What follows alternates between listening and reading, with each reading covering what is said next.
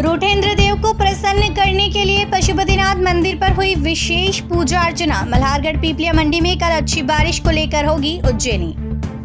विगत कई दिनों से मंदसौर में बारिश नहीं हो रही है। उसको देखते हुए मंदसौर के अवीज ग्रुप ने अपने साथियों के साथ मिलकर पशुपतिनाथ मंदिर पर विशेष पूजा अर्चना कर महामृत्यु जाप सहित भगवान भोलेनाथ के जाप किए। भगवान भोलेनाथ से प्रार्थना की है कि मंदसौर सहित सभी जगह अच्छी बारिश हो।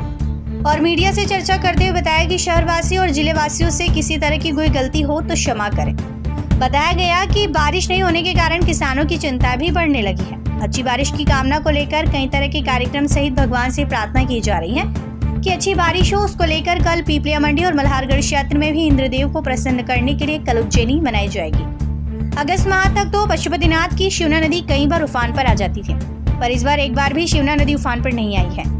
उसी को देखते हुए मंदसौर के एवीएस ग्रुप ने यह अच्छा प्रयास करते हुए रूठेंद्र देव को प्रसन्न करने के लिए महामृत्यु जाप सहित भगवान भोलेनाथ के जाप किए हैं और पंडित राकेश भट्ट द्वारा विधि विधान से मंत्रोच्चार के साथ पूजा अर्चना कराई गई। टीम एवीएस द्वारा भगवान भोलेनाथ को मनाने के लिए, भगवान इंद्र को मनाने के लिए यहाँ पर पूजन की गई, प्रार्थना की गई कि एक लंबा समय हो गया, बारिश नहीं हो रही है तो इसकी चिंता टीम एवीएस ने करते हुए यहाँ पर आज प्रार्थना का आयोजन किया गया था। प्रार्थना की गई है।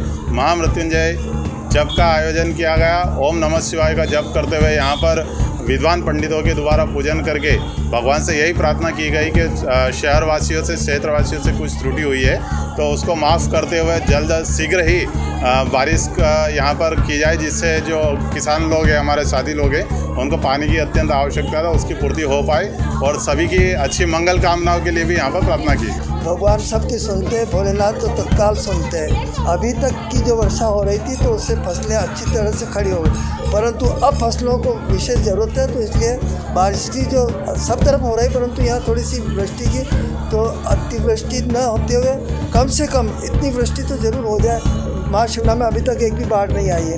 भगवान भोलेनाथ से ही कहा कि आप डबल श्रावण मास है, पुरुषोत्तम मास है और सब आपकी आराधना करें। इस आराधना में भोलेनाथ, प्रसन्न हो जाइएगा और जिस कामना के लिए सबकी कामना पूरी करते हैं तो किसानों की और सबकी और माँ शिवना की एक बार कम से कम बाढ़ आके आपका अभिषेक हो जाए। इस उद्देश्य से आज यहाँ पर भगवान भोलेनाथ की प्रार्थना, उपासना, आराधना की गई।